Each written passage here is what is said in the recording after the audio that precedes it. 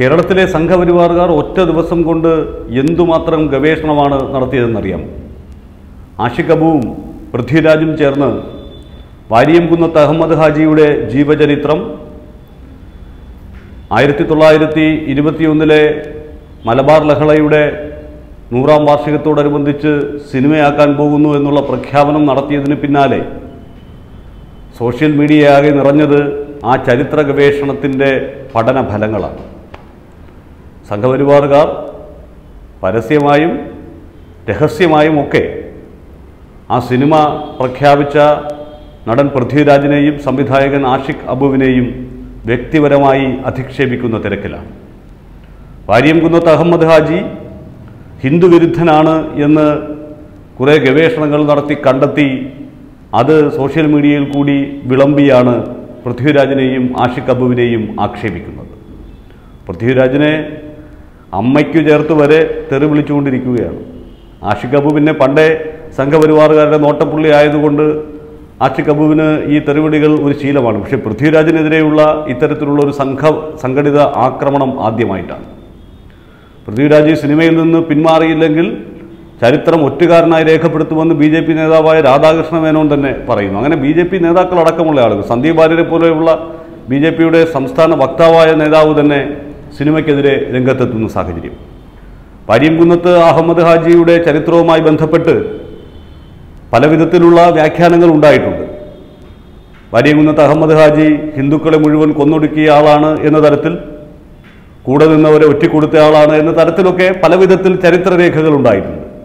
പക്ഷേ യഥാർത്ഥ ചരിത്രം രേഖപ്പെടുത്തുന്നത് വാര്യംകുന്നത്ത് അഹമ്മദ് ഹാജി ഒരു ധീരനായ ബ്രിട്ടീഷ് വിരുദ്ധ പോരാളിയാണ് എന്നുള്ളതാണ്. ബ്രിട്ടീഷുകാർക്ക് ഓശാന പാടുകയും അടിയാന്മാരായ ജനങ്ങളെ നിരന്തരം പീഡിപ്പിക്കുകയും ചെയ്ത തമ്പ്രാന്മാർക്കെതിരെ പോരാട്ടം നയിച്ച ആൾ കൂടിയാണ് വാര്യംകുന്നത്ത് അഹമ്മദ് ഹാജി.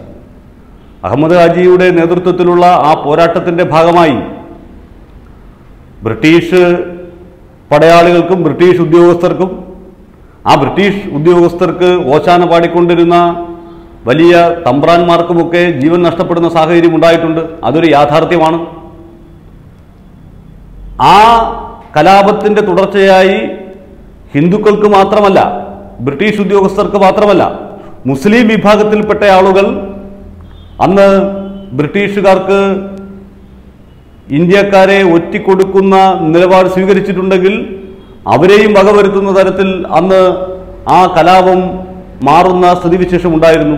അതായത് അവിടുത്തെ ലക്ഷ്യം ഹിന്ദുക്കളെ ഉന്മൂലനം ചെയ്യുക എന്നുള്ളതായിരുന്നില്ല ഇപ്പോൾ ഈ സംഘപരിവാറുകാർ പറയുന്നത് പോലെ. ബ്രിട്ടീഷുകാർക്കെതിരായിട്ടുള്ള അടിമത്തത്തിനെതിരായിട്ടുള്ള സവർണ മേധാവിത്വത്തിനെതിരായിട്ടുള്ള പോരാട്ടമായിരുന്നു അത്. ആ പോരാട്ടത്തിൽ ആ പോരാട്ടത്തെ ഒറ്റിക്കൊടുക്കാൻ തയ്യാറായിരുന്ന മനുഷ്യരെ. അതായത് ഒന്നുകിൽ ബ്രിട്ടീഷുകാർക്ക് വേണ്ടി ന്യായീകരിക്കാൻ നടക്കുന്ന ആളുകൾ അതല്ലെങ്കിൽ ഈ സവർണ മേധാവിത്വത്തിന് കുടപിടിക്കാൻ നടക്കുന്ന ആളുകൾ അവരെയൊക്കെ ആ പോരാട്ടത്തിന്റെ ഭാഗമായി ഉന്മൂലനം ചെയ്യാൻ വാര്യംകുന്നത്ത് അഹമ്മദ് ഹാജിയും അദ്ദേഹത്തോടൊപ്പം നിന്നവരും തയ്യാറായിട്ടുണ്ട് എന്നത് യാഥാർത്ഥ്യമാണ്. അതിനെ ഹിന്ദുവിരുദ്ധമായി ചിത്രീകരിക്കാനാണ് ഒരുപാട് ഗവേഷണങ്ങൾ നടത്തി കാര്യങ്ങൾ കണ്ടെത്തിയത്. മഹാത്മാഗാന്ധി അതിനെ അപലപിച്ച കാര്യമൊക്കെ ചൂണ്ടിക്കാട്ടിയിട്ടാണ്.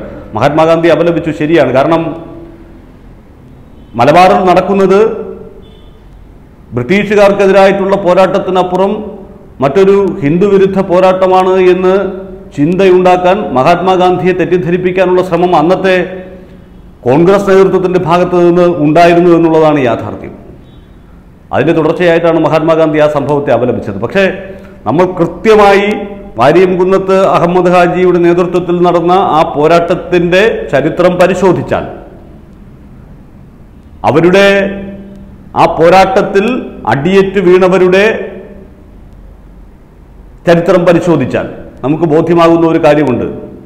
അവരെല്ലാം ഒന്നുകിൽ ഒറ്റുകാർ അല്ലെങ്കിൽ ബ്രിട്ടീഷ് ഭരണത്തിന് ഓശാന പാടുന്ന ആളുകൾ അതല്ലെങ്കിൽ കുടിയാന്മാരെ നിരന്തരമായി പീഡിപ്പിച്ചുകൊണ്ടിരുന്ന വ്യക്തികൾ. ആ വ്യക്തികൾ എന്ന് പറയുന്നത് സ്വാഭാവികമായി ബ്രിട്ടീഷ് ഭരണത്തിന് തങ്ങളുടെ എല്ലാം അടിയറ വച്ചിരുന്ന ആളുകളായിരുന്നു. ബ്രിട്ടീഷ് ഭരണത്തിന്റെ സന്ത സഹചാരികളായിരുന്നു. അവരെ സംബന്ധിച്ചിടത്തോളം ബ്രിട്ടീഷുകാർ തങ്ങളെ സംരക്ഷിക്കാനുണ്ട് എന്നുള്ള ഒരു നിലപാട് സ്വീകരിച്ചിരുന്നവരായിരുന്നു. അങ്ങനെയുള്ള യഥാർത്ഥ ചരിത്രത്തെ ഇപ്പോൾ വളച്ചൊടിക്കാൻ ശ്രമിക്കുന്നവർ ആരോപിച്ചുകൊണ്ടിരിക്കുന്നത് ഓട്ടോമാൻ തുർക്കിക്ക് വേണ്ടി ബ്രിട്ടീഷുകാരെ ഓടിക്കാൻ വേണ്ടി വാര്യംകുന്നത്ത് അഹമ്മദ് ഹാജിയും നേതാക്കളും നടത്തിയ ഒരു പോരാട്ടമായിരുന്നു അവിടെ നടന്നത് എന്നുള്ളതാണ്.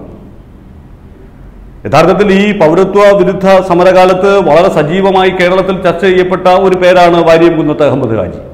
അതുകൊണ്ട് തന്നെയാണ് വാര്യം കുന്നത്ത് അഹമ്മദ് ഹാജി എന്ന ധീരനായ നായകന്റെ ജീവചരിത്രം സിനിമയാക്കുന്നതിനെ കുറിച്ച് ആശയ അബുവും പൃഥ്വിരാജും തീരുമാനിച്ചത്? പൃഥ്വിരാജ് ആ വേഷം കൈകാര്യം ചെയ്യാൻ തീരുമാനിച്ചത്? ചരിത്രത്തിൽ രേഖപ്പെടുത്തിയിരിക്കുന്ന വാര്യം കുന്നത്ത് അഹമ്മദ് ഹാജി എല്ലാവരെയും കൊന്നൊടുക്കി അജയ്യനായി നിന്ന ഒരാളല്ല.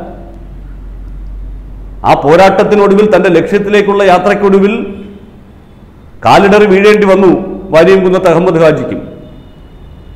എല്ലാ മനുഷ്യരെയും എന്ന പോലെ ബ്രിട്ടീഷ് ഭരണകൂടം തങ്ങളോടൊപ്പം നിൽക്കുന്ന ആളുകളെ ഉപയോഗിച്ചുകൊണ്ട് അങ്ങനെ തങ്ങൾക്കെതിരെ പടയോട്ടം നയിക്കുന്ന ആളുകളെ ഇല്ലാതാക്കിയിട്ടുള്ള ചരിത്രമുണ്ടല്ലോ. ആ ചരിത്രം വാര്യംകുന്നത്ത് അഹമ്മദ് ഹാജിയുടെ ജീവിതത്തിലും സംഭവിച്ചിട്ടുണ്ട്. പക്ഷെ വാര്യംകുന്നത്ത് അഹമ്മദ് ഹാജി ഒരു ഹിന്ദു വിരുദ്ധനാണ് എന്ന് വരുത്തി തീർക്കാൻ.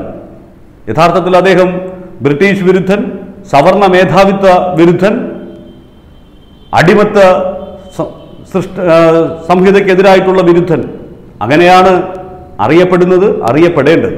പക്ഷേ ആ ചരിത്രത്തെ വളച്ചൊടിക്കാൻ സംഘപരിവാറുകാർ ശ്രമിക്കുന്നതിന്റെ ഭാഗമായിട്ടാണ് അങ്ങനെ ഒരു സിനിമ പ്രഖ്യാപിക്കുന്ന വേളയിൽ തന്നെ ഈ വലിയ അസഹിഷ്ണുതാപരമായിട്ടുള്ള പ്രകോപനപരമായിട്ടുള്ള നിലപാടുകൾ ഉണ്ടാകുന്നു ഒന്ന് ഓർത്ത് നോക്കൂ ഭാരത സംസ്കാരത്തിന്റെ വലിയ വക്താക്കളൊക്കെയാണ് പൃഥ്വിരാജിന്റെ അമ്മയെ കൂട്ടി തെറി വിളിക്കുന്നത് എന്ന്. ശരിക്കും പറഞ്ഞാൽ മറ്റൊരു യാഥാർത്ഥ്യം കൂടിയുണ്ട്. ആഷിഖ് കപൂരും പൃഥ്വിരാജിനും ഇനി ആ സിനിമയുടെ കാര്യത്തിൽ ആശങ്കപ്പെടേണ്ട കാര്യമില്ല. കാരണം ആവശ്യത്തിനധികം പ്രീ പബ്ലിസിറ്റി ഇപ്പോൾ സംഘപരിവാറുകാർ തന്നെ കൊടുത്തു കഴിഞ്ഞു.